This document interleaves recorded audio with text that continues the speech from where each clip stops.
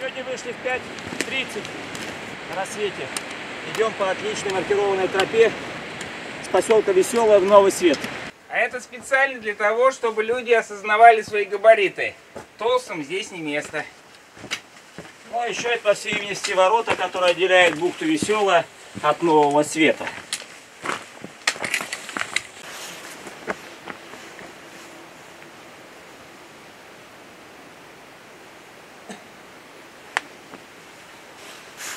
Победы православному царю нас опротивные даруя, и Твое сохраняя крестом Твоим жительство. Отца и Сына и Святого Духа. Аминь.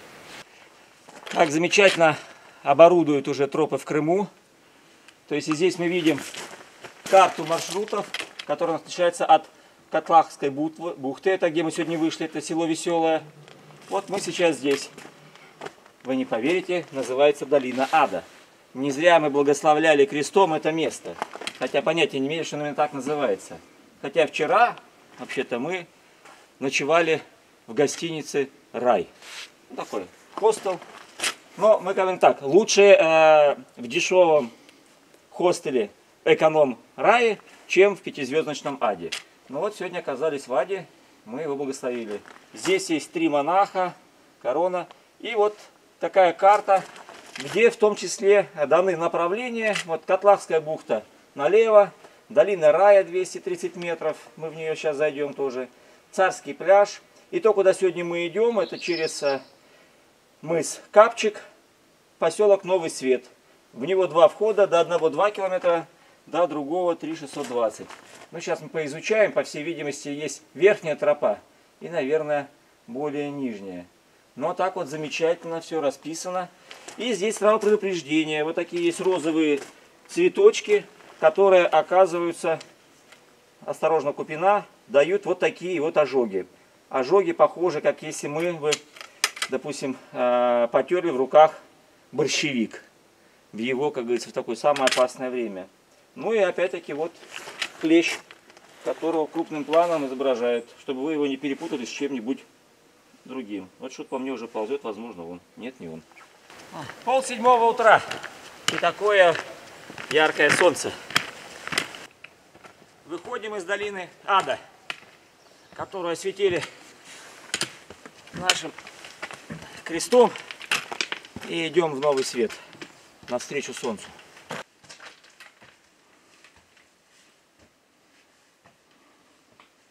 Все знают шампанское Лев Голицын. Вот это те места, в которых любил бывать и жить Голицын. Вокруг здесь виноградники краснового света. Ну а мы пойдем посмотрим, что же это за кресло Голицына.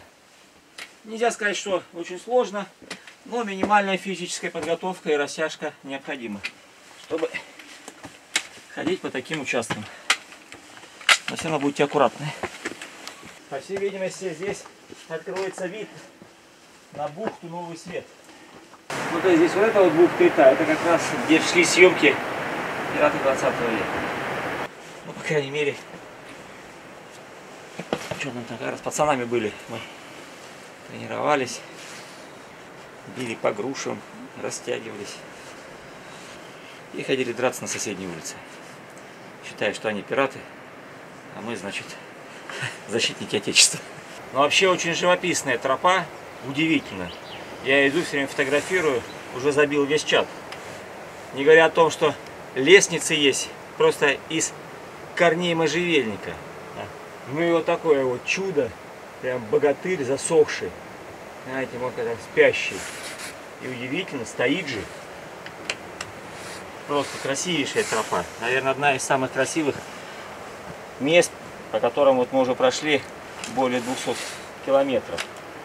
Бухты, где снимались фильмы такие как «Пираты 20 века».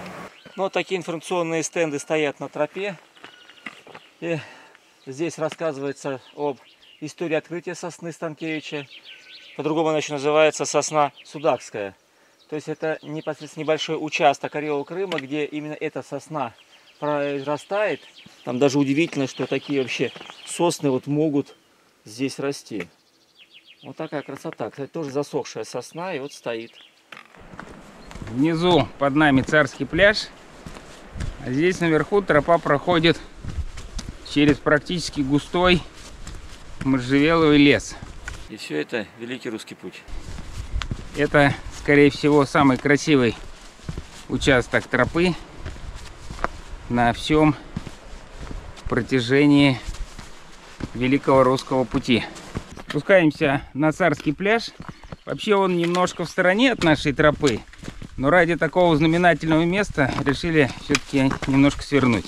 Я думаю, один из плюсов этого пляжа заключается в том, что на машине туда подъехать невозможно. Но галечка очень приятная. Это не песок, а прям такая мелкая. Вот. Прям как, знаю, как чечевица, наверное, размером. Ну, вообще такая уютная бухта.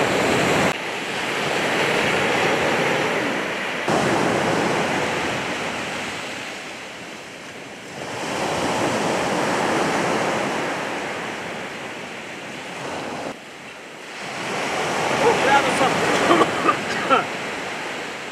10-12 вода.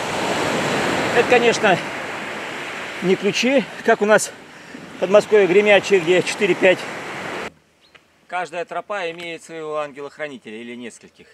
И это, в общем-то, та практика, которую нужно распространить на всю Россию. Чтобы тропы были не сами по себе, а у них были те, кто за ними следили. И вот люди, которые следят за тропой Голицына, вот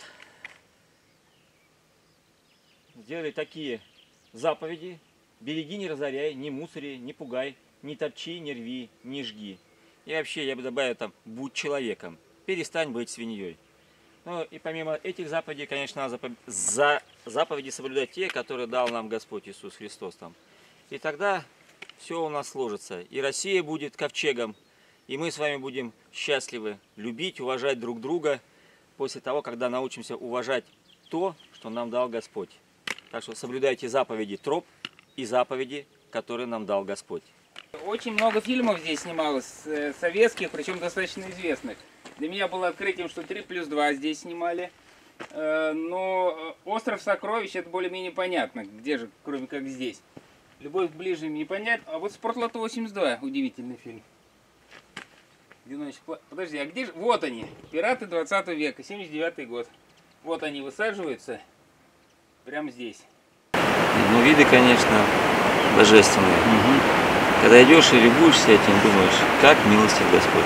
Сколько нам всего дал. Да.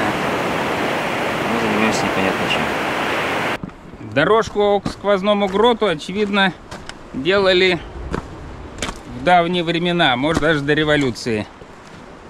Такую серьезную каменную выложили стенку. Сейчас бы, наверное, не стали заморачиваться, поставили бы столбики и какое-нибудь ограждение простенькое. Здесь просто настоящая каменная стена. А вот мы входим в сквозной грот. Но он полностью соответствует своему названию. Действительно грот и действительно сквозной. Высокий потолок, прям как в католическом храме. Победы православному царю на и Твое сохраняя крестом Твоим жительством. Замечательная акустика, в том числе в этом гроте. Ну, видно, еще в царское время потрудились над тем, чтобы сделать сюда дорожку и прорубить небольшой проход вот с той стороны. Но данный грот, он просто упирается в море. 7 апреля мы вышли, 10 августа будем в Москве, в Новодевичьем монастыре. Пройти нужно чуть больше 3000 километров. Но десятую часть, плюс-минус, мы уже прошли. Вы с нами? Ну, инициатива это общая. Изначально было а, благословение патриарха в 15 году проложить паломническую тропу с Москвы до Соловков. В 21 году вот мы с Валерием Шаниным и с другими друзьями вышли из Москвы и дошли до Соловков. Да, но сразу родилась тогда идея, и Валерий, как путешественник известный и много походивший по миру, сказал, а чем мы с Москвы идем до Соловков? Если идти до Соловков, надо идти от Черного моря до Белого моря. А если от Черного идти, это значит идти от Херсонеса. А если идти от Херсонеса, а это Корсун, значит надо идти с Корсунским крестом. И таким образом, это не рожденная идея 5 минут. Это идея, которая рождена во время хождения на Соловки в 21 году. И таким образом вот родилась такая идея, и сейчас мы идем с Корсунским крестом, который является малой копией Корсунского креста, который хранится в женском Никольском монастыре в Переславле-Залесском, который размером 2,35 на метр тридцать пять. То есть он вот такой вот. Тоже мощевик. А это малая копия, э, которая благословлена на э, матушкой Евстолия, игумене этого монастыря.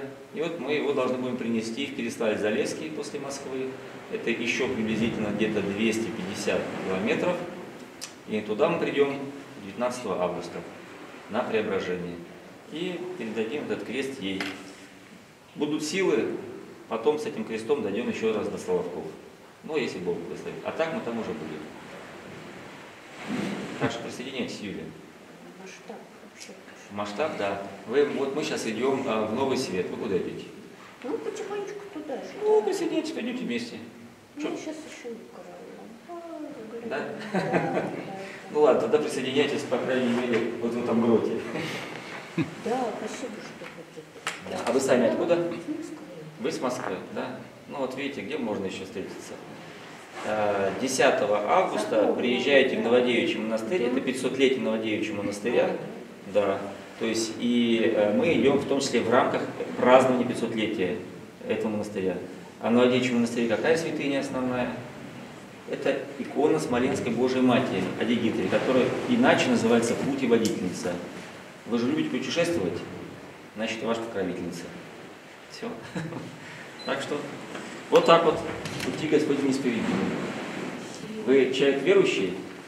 Ну, есть немного. Немножко там, да? На Пасху ходите на службу? Да. Пойдете в этом году? Да. Ну, тогда вам сам Бог велел приложиться к данной святыне. Здесь вот частица креста Господня.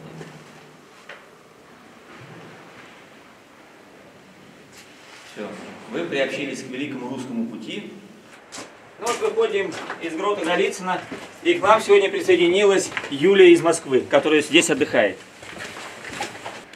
Великий русский путь – это вообще грандиозный комплексный маршрут. Он включает в себя и другие более мелкие тропы. Мы начали с Херсонеса по Севастобольской тропе, потом шли по Крымской тропе.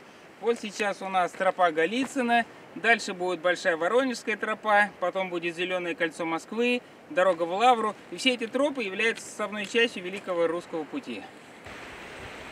Тропу Голицына все-таки оградили вот такими прекрасными ограждениями, чтобы народ, случайно зазевавшись, не свалился. Падать далеко. Это связано с тем, что здесь курорт Новый Свет, и народу летом очень много. А мы находимся в то время, когда народу мало, и особая благодать стоит. Мы все еще продолжаем идти по тропе Голицына. Грот где-то впереди. Живописнейшие виды. Просто невероятные. Удивительно, но приходится круто подниматься. Тут, конечно, все благоустроили. Типа ступенек сделали, ограждение.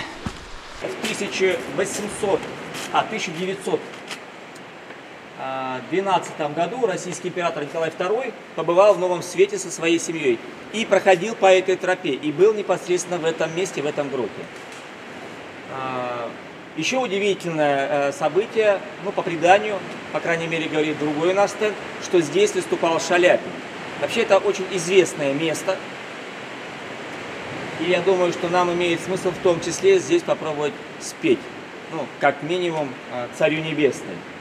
Ну, на этих фотографиях мы видим, что э, была прогулка царственной семьи. Э, князь Лев Голицын сопровождал их по этой тропе. И по этим фотографиям мы видим, что эта тропа была построена и вот эти вот каменные ограждения, это как раз э, те ограждения, которые были сделаны князем Голицыным, возможно, как раз приезду императора. Так что мы идем по тропе, по которой ходил сам государь Николай II со своей семьей. Это вот такая страта, на которой выступали разные артисты певцы, и по преданию здесь выступал Шаляпин. Я э, не дерзаю туда подниматься, а спою Здесь, помолимся. Царю небесный, утешителю души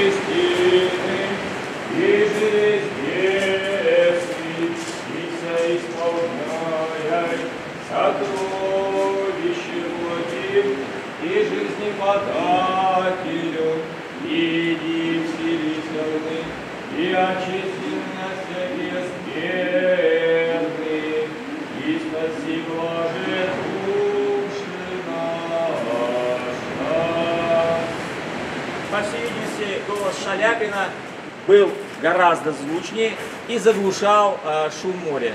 Хотя шум моря дает такой как бы интересный фон. Вообще очень интересное место. Всем рекомендуем здесь побывать. Вообще удивительные виды, благоустроенные тропинки. И люди, которым, люди, которые сегодня здесь за этим присматривают, видно это место дорого, потому что мы нигде не видим мусора.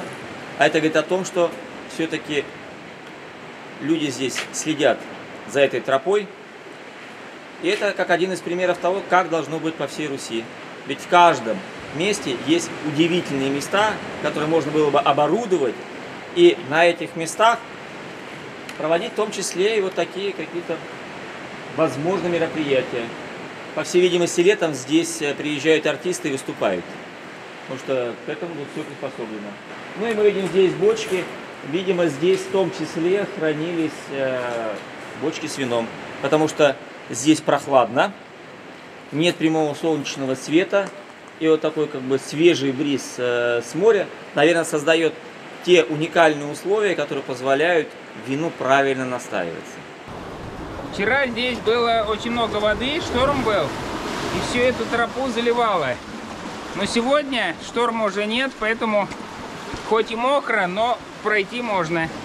Ну, посмотрите, вот по веревке. Ну, по А. веревке. Ну, там предполагалось, что лестница есть. Э, Видишь, она так как бы идет. Вот здесь торжественный вход на тропу Голицына. Для нас это выход. Да. Именно через этот вход заходила царская семья в 1913 году.